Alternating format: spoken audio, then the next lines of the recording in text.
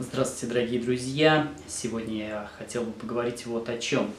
Вы подали мне в комментариях отличную идею. Я решил снять видеоролик с пятью способами того, как, соответственно, вам не только пережить ваш развод или ваше расставание во взаимоотношениях, но и, соответственно, мы немножечко затронем даже то, как вам стать лучше, умнее, красивее и, может быть, даже найти партнера на всю оставшуюся жизнь.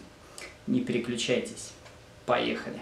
Грустно, потому что мне трудно ее переубедить. Как сделать так, чтобы она наконец поняла? Не решать, как я уже говорил, проблемы жопы, проблемы головы. А что это значит? Вы, расставшись со своим мужем, молодым человеком, в первую очередь не должны спускать все деньги на апгрейд своего внешнего вида.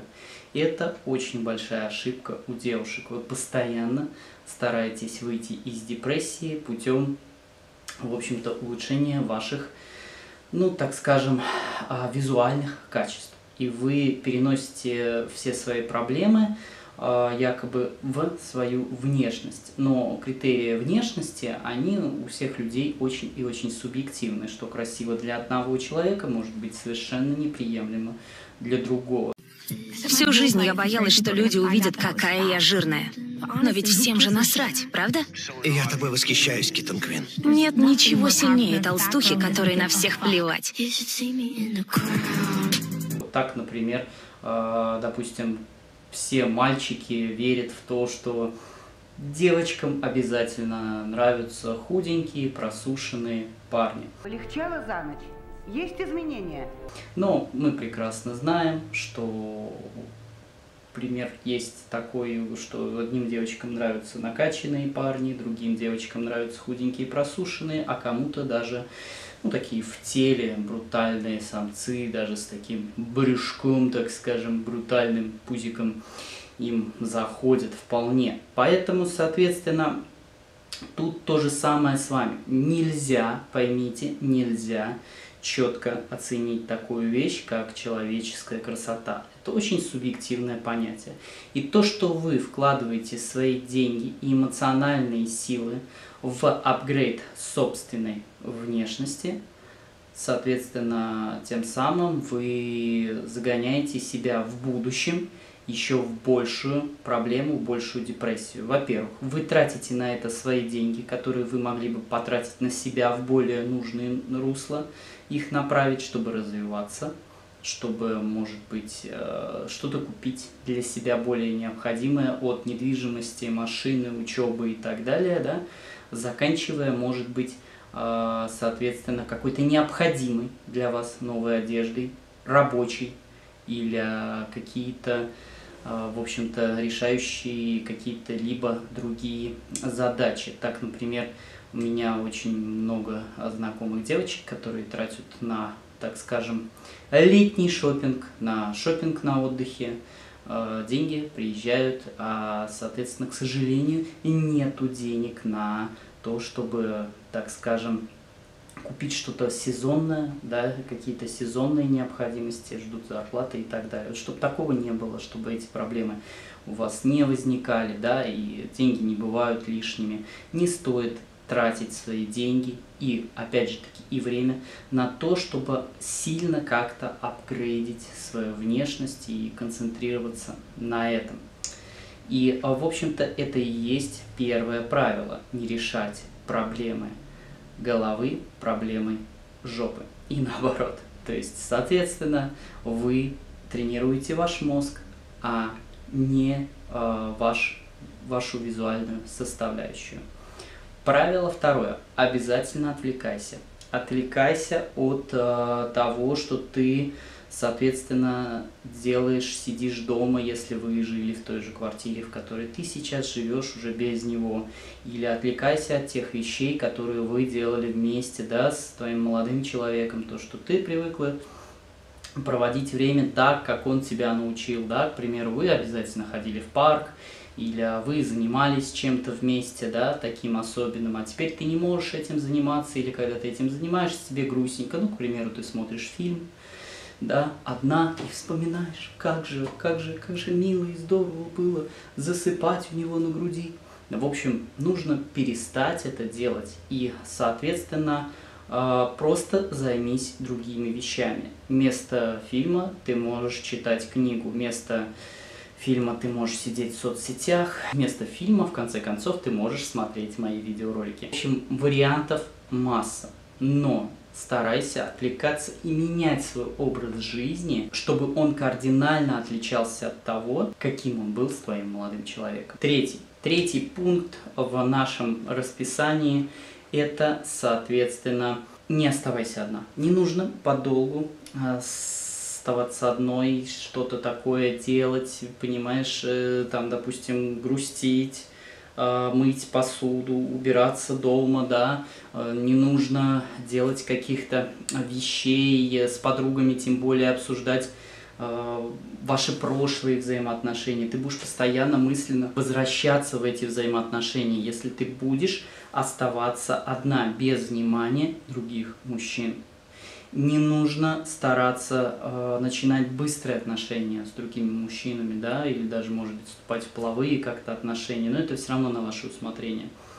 А, другое дело, что ты не должна оставаться без мужского внимания, вот что я хотел сказать. И для того, чтобы ты чувствовала себя востребованной, чувствовала себя уверенной, тебе не нужно вкладывать на самом деле деньги свою внешность. Тебе нужно аккумулировать как можно больше мужчин вокруг себя в данный непосредственный момент. Пускай ты их будешь считать неудачниками, какими-то стрёмными, левыми. Никто не заставляет тебя с ними спать. Просто общайся, позволь ухаживать им за тобой. И ты увидишь, как твое психоэмоциональное состояние улучшается, даже когда ты увидишь, что они что-то там начинают тебе писать, лайкать твой инстаграм и так далее.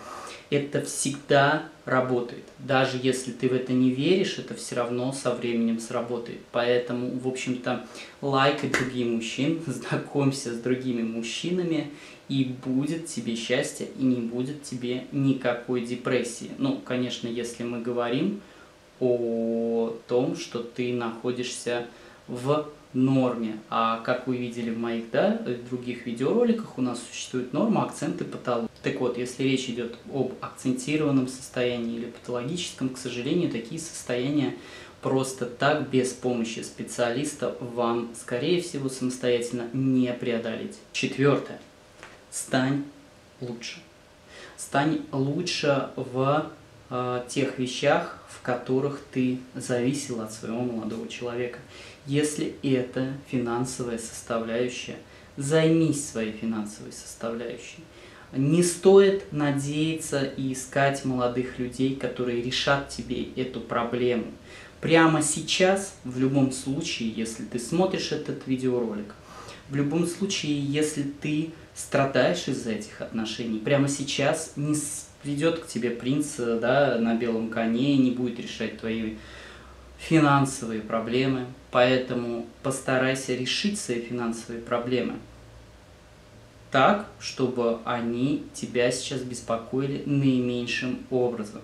Старайся отвлечься абсолютно от того, что ты э, одна и что тебе теперь никто не может помочь.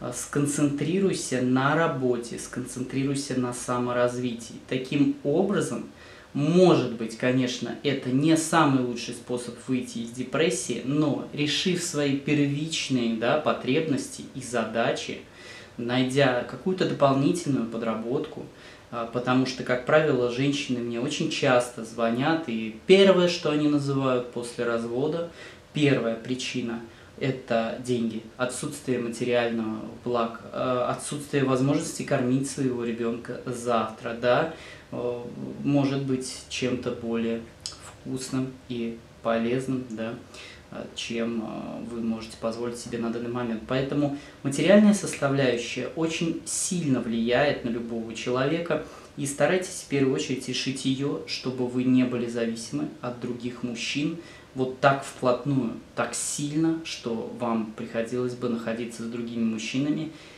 через свое не могу, да, переступая через себя, чтобы у вас не было задачи поиска партнера ради пропитания, а чтобы этот партнер приносил вам, так скажем, счастье. Займитесь собой, займитесь самообразованием и самореализацией. Пункт пятый.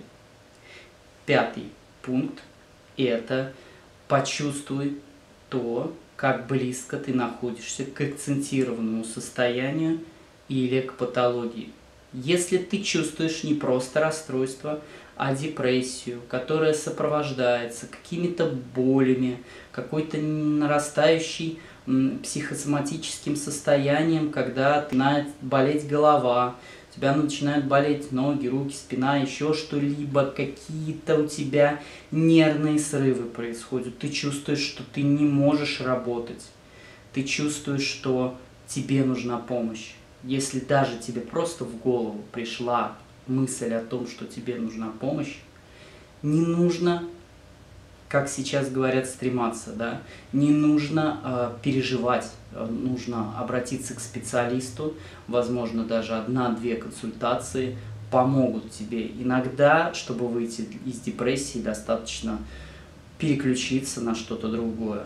А иногда, чтобы выйти из депрессии, нужны препараты, нужна помощь специалиста, нужны консультации, нужны беседы. Поэтому, дорогие друзья, я желаю вам здоровья, не болеть и не расставаться с вашими любимыми. А если это все-таки произошло, постарайтесь выполнить эти пять советов и стать чуточку лучше, потому что когда вы станете чуточку лучше, и вот здесь, вы переосознаете и переосмыслите ваш опыт, который вы получили, находясь со своим партнером, и поймете, что вся жизнь еще впереди, сколько бы вам ни было лет, все равно вся жизнь еще, как правило, впереди, и сейчас уровень жизни гораздо выше, и благо даже достаточно зрелом возрасте нам еще остается достаточно много жить, и я надеюсь, что у каждого из вас будет достаточно положительный опыт этой жизни, и вам еще познавать других людей, познавать этот мир – и вы сможете научиться смотреть через призму нового опыта, по-новому на ваши прошлые взаимоотношения, а главное на ваши будущие взаимоотношения. С вами был Medical Fitness Psychology. Да пребудет с вами здоровье.